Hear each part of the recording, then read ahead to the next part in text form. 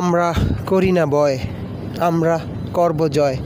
যতই বিপদ আসুক, যতই বাধা আসুক, আমাদের বাড়িতে যেতেই হবে, কারণ এটাই আমাদের ঈদ, এটাই আমাদের আনন্দ। দর্শক, জীবনের ঝুঁকি নিয়ে মানুষগুলো কত কষ্ট করে বাড়িতে যাচ্ছে আপনারা দেখতে পাচ্ছেন। সবাই সবার জন্য দোয়া করবেন। এরকম আরও ভিডিও পেতে অবশ্যই আমার এই তাসিন টিভি চ্যানেলটা সাবস্ক্রাইব করে পাশে থাকবেন। আল্লাহ হাফেজ।